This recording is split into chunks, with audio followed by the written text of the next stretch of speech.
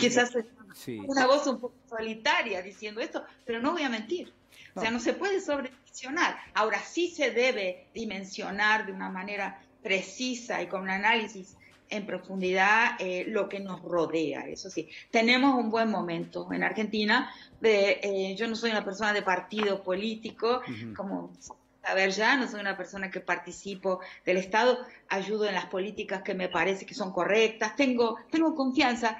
Eh, creo que es un buen, que es un buen gobierno, que tiene buenas iniciativas, una buena actitud. Entonces, em, creo, y ahora eh, eh, es un momento muy difícil, ¿no? La pandemia, estuve pensando que es, una, es, es la pandemia más complicada, más única en la historia. Y primero tuve la sensación de que lo era y después empecé a decir, ¿por qué es única?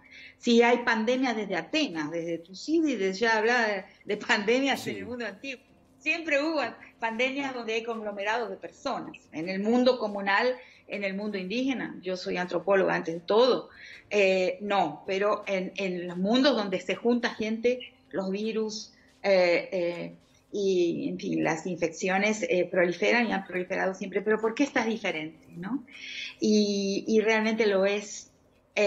porque es la primera que sucede cuando el occidente moderno capitalista tiene la pretensión de controlar la naturaleza, de controlar la vida, haber cosificado la vida la naturaleza, los cuerpos, inclusive las inteligencias, con la inteligencia artificial que se aplica a todo, eh, eh, llegando a un fin de la historia. Después de esa propuesta de los años 90, de que con el fin de la, la, Guerra Fría y con el, en fin, con el sistema capitalista que se expandió por el mundo, que dejó de ser bipolar y, un sistema liberal que sería la forma democrática última de eh, gestión y de administración de, la sociedad, eh, eh, habría terminado la historia ahí. O sea, son muchas pretensiones de omnipotencia.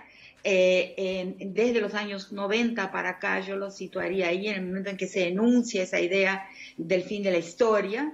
Em, y de repente esa omnipotencia va por tierra. Entonces las pandemias que hubo, las grandes infecciones que hubo después de, la, de esa propuesta del fin de la historia, del liberalismo forever, eh, son pandemias que fueron acotadas, que fueron eh, focalizadas en o colectivos específicos, ¿no? Por ejemplo, eh, el HIV, el SIDA, o en, en, espacios eh, como el ébola en el África, o sea, en espacios delimitados. Pero esta no, esta se extiende eh, eh, con contagios comunitarios por el mundo entero, toma a, gente, si es, es, verdad que ha penalizado mucho más a las poblaciones que, que, viven en situación de hacinamiento y las poblaciones más pobres, pero ataca también a, los ricos, también los mata, o sea, es democrática en ese sentido. General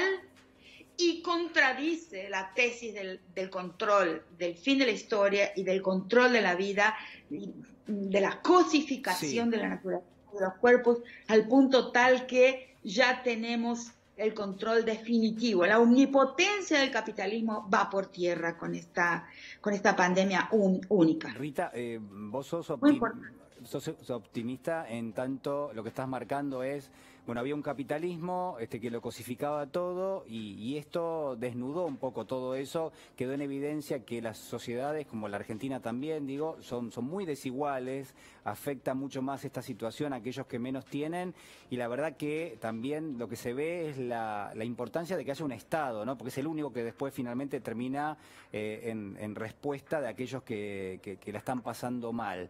Digo, a partir de, esta situación, ¿te imaginas hacia adelante que... Claro, ahí eh, se nota.